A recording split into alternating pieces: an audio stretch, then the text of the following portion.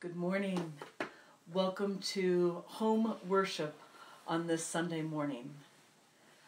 As we prepare to worship God, let us call ourselves to worship. Let us offer a spiritual sacrifice acceptable to God through Jesus Christ, our risen Lord. Alleluia. Alleluia. Thanks be, Be to to God. God. Thanks be to God. Let us also call ourselves to confession. Whoever believes in Christ will not be put to shame. Confident in this promise, let us confess our sin before God and one another. Let us pray. Almighty God, your word offers freedom from sin, but we confess that we have not obeyed your word. We have harbored malice toward our enemies. We have been deceitful in our relationships. We have been insincere in our commitments. Through gossip, we have slandered our friends. Forgive us our sins and lead us to genuine repentance. Help your children long for your pure spiritual milk, that we may grow into the joy of salvation. Through Jesus Christ our Lord. Amen. Amen. Amen.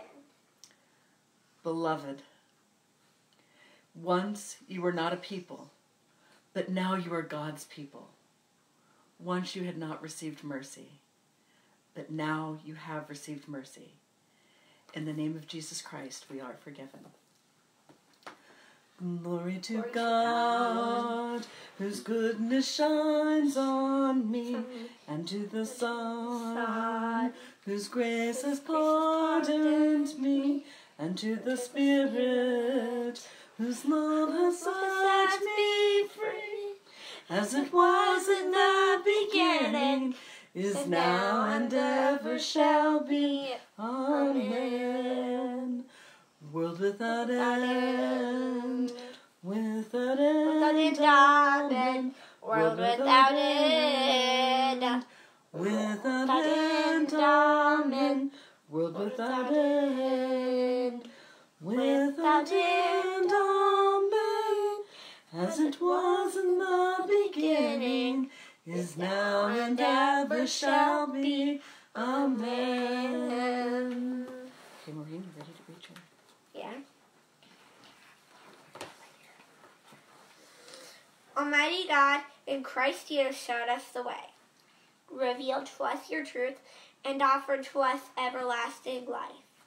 Keep our eyes upon him, that we may see your path more clearly, know your truth more fully, and receive your life more abundantly through Christ who dwells with you in the Holy Spirit in eternal glory.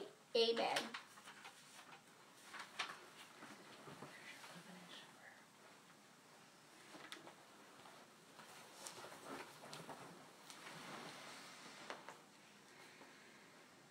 Lord, as we listen to your holy word, open our hearts to the power of your Spirit. Call us out of darkness and lead us into your marvelous light. Amen. Amen. This morning's reading from the fifth Sunday of Easter and from a revised, New Revised Standard Version of the Bible is from the Gospel of John, chapter 14, verses 1 to 14. This is early in the Last Supper discourse between Jesus and his apostles. Jesus said, Do not let your hearts be troubled. Believe in God. Believe also in me. In my Father's house there are many dwelling places. If it were not so, would I have told you that I go to prepare a place for you? And if I go and prepare a place for you, I will come again and will take you to myself, so that where I am, you may be also. And you know the way to the place where I am going. Thomas said to him, Lord, we do not know where you're going. How can we know the way? Jesus said to him, I am the way, the truth, and the life. No one comes to the Father except through me. If you know me, you will know my Father also.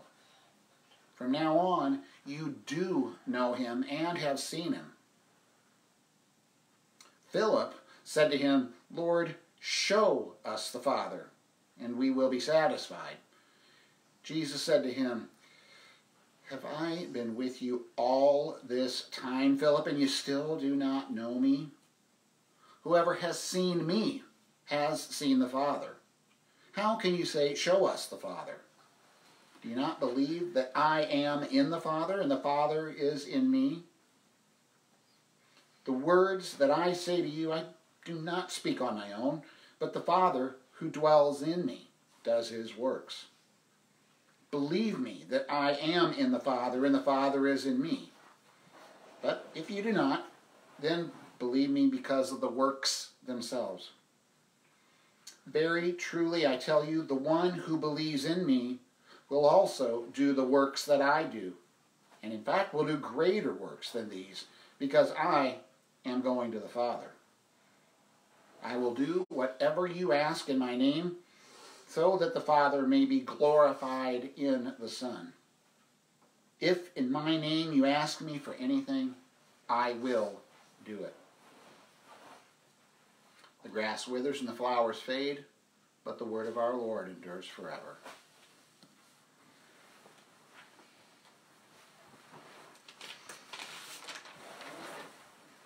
In every beginning, there's also an ending. And the disciples are sitting in one of these liminal spaces right at this time. They're filled with anxiety. They're troubled.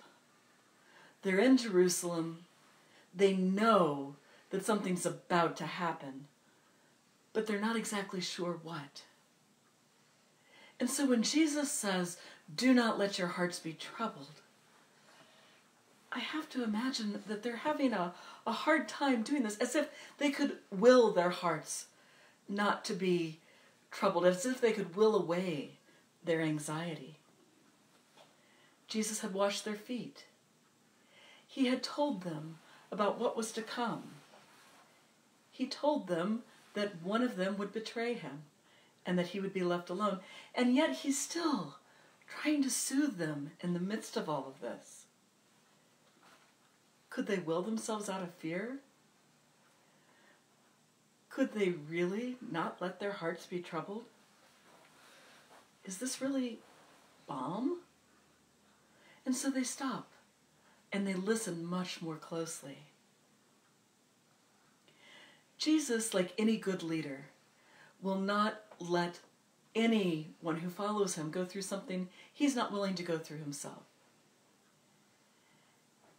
And they know that wherever Jesus has led them, Jesus has been right there beside them.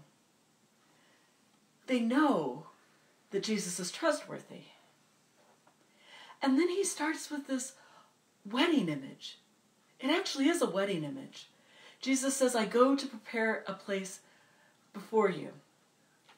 This is what the bridegroom did before welcoming the bride into his home the bridegroom went ahead and prepared a place in his home, made room for this new member of his family, made a way for his larger extended family to welcome a new person, a new member of the family.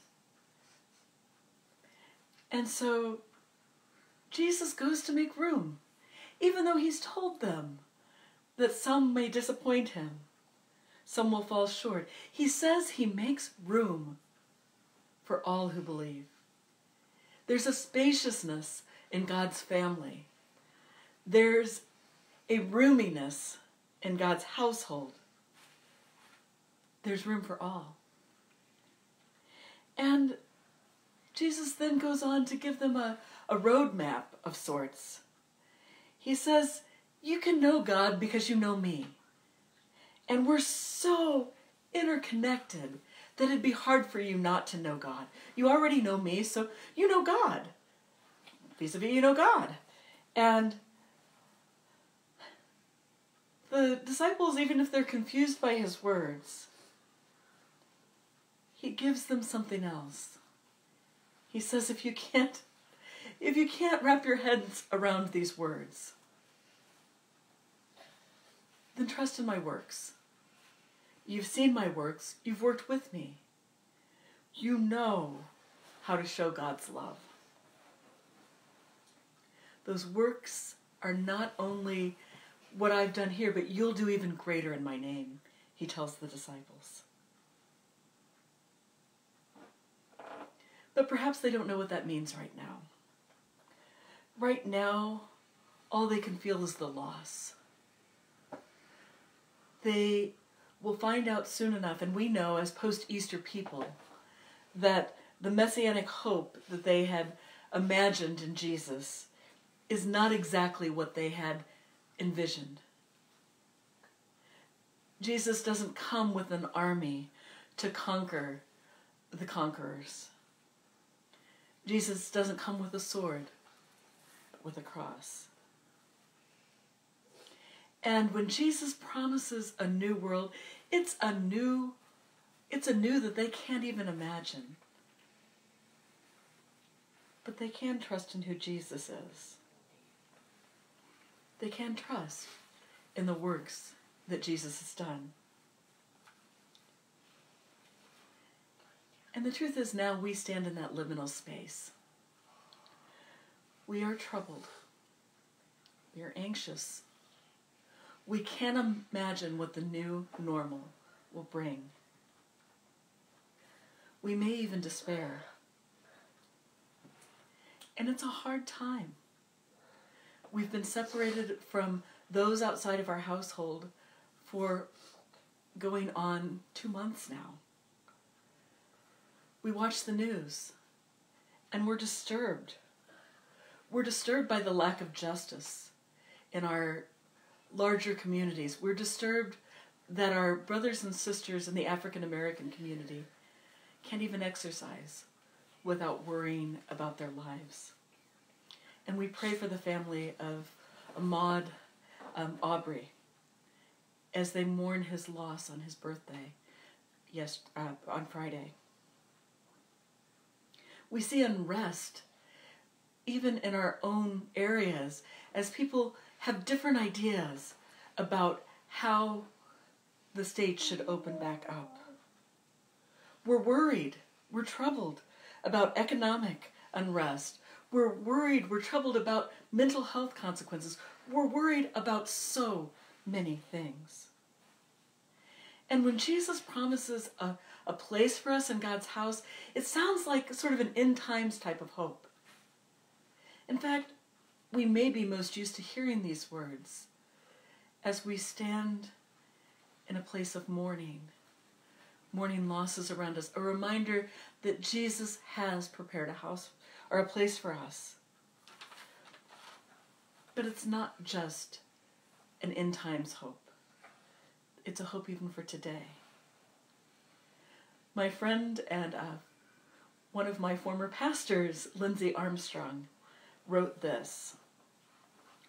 We don't understand what Jesus means when he says, In my Father's house there are many dwelling places, until we make room for placeless people, international students, internally displaced persons, refugees, unhoused people, dreamers, addicts, differently abled people, foster children, domestic abuse victims, ignored or abused elderly folks, and too many others. And it was when I read these words that Lindsay wrote that I started to realize that we know how trustworthy God is. We can feel some hope in our anxiety because our community is spacious. Our community knows how to make space for all of God's people. Our community knows how to be God's people and to share God's love. And so, in the midst of seeking out trust, trustworthy news sources, I've also sought the good. And I've found it so much in this community. There's so much space because we refuse to believe that we have the only experience worth attention. We listen. We share love in any way we possibly can. my daughter has felt her community of her school gather around as she's received postcards not only from her wonderful classroom teachers and her case manager and her specials teachers and those who um, help her with her um, with speech therapy and occupational therapy.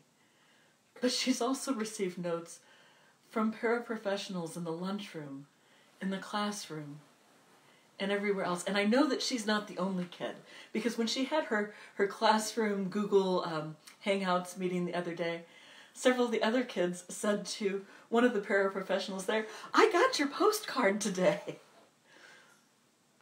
So the school community is reaching out. The school community is reminding our kids that their beloved school community hasn't forgotten them. Their beloved school community still surrounds them in love. And then I saw it in a couple of other stories this week. When the Monroe Kiwanis partnered with United Way of Monroe and tried to pool some financial resources to help those in most need in the community. When it wasn't about who did it, individually getting credit, but working together to make sure that everyone has enough. Or when the high school FFA purchased 200 gallons of milk from a local dairy and distributed them to families who are struggling the most with food insecurity. Or when a local dairy donated yogurt as part of the healthy meals that are going to families throughout the community. These are all places where God's love is revealed. Or even a couple of nights ago, there was a lost dog in the community, and people who knew the person with the lost dog and those who did not were out searching, were out sharing their love in a powerful way. Beloved, you know how to live for and with one another. You know how to live in God's way. And so, as you can trust in living in Christ's manner, in living in Christ's walk, in living in Christ's way, you can also trust that Christ is with us. We act, live, work, and love because who we of who we are in Christ. And you are constantly doing this. You as a community are constantly doing this. You're constantly discerning who might be left out and how to graciously include. You're always figuring out a way to make room. And Christ has made room for you. Christ has opened your hearts, has opened your minds, has opened your spirits, and poured in the love of God and the communion of the Holy Spirit so that we can share this love throughout the community. Thanks be to God for the love that you show and continue to show. Amen. Amen. Beloved, let us pray together.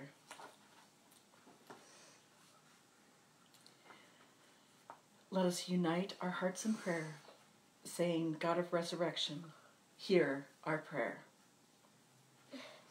For the church throughout the world, for all who profess and honor the risen Lord, may we be faithful to their witness and courageous in their testimony to the way of Jesus.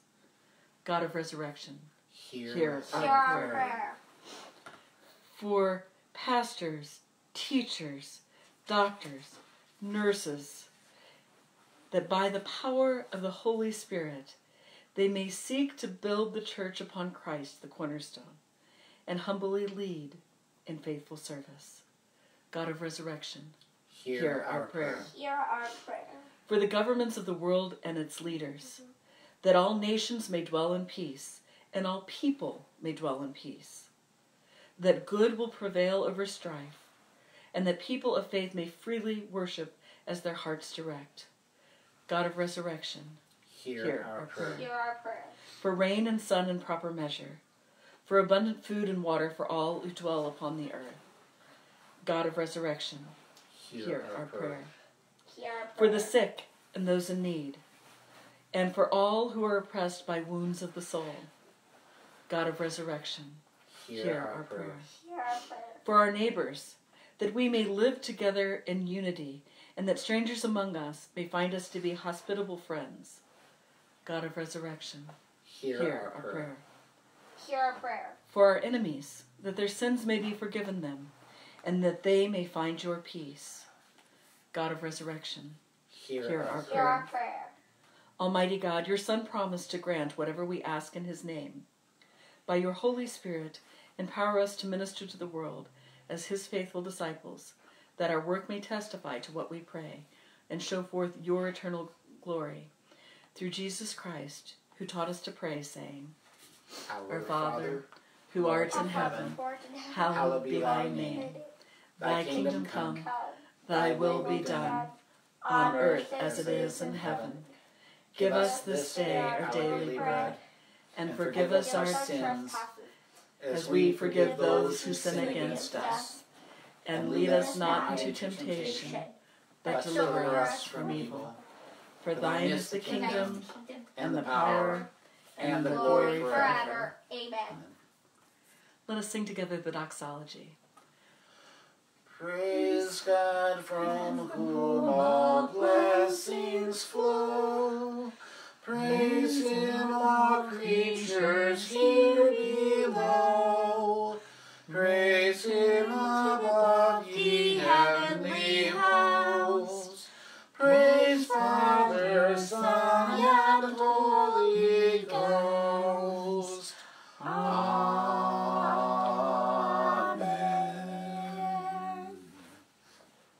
Go forth and serve in the name of our risen Lord. And as you go, may the love of God, the peace of our Lord Jesus Christ, and the communion of the Spirit be with us now and always. Alleluia. Alleluia. Amen. Amen. Go in peace to love and serve the Lord. Thanks be to God.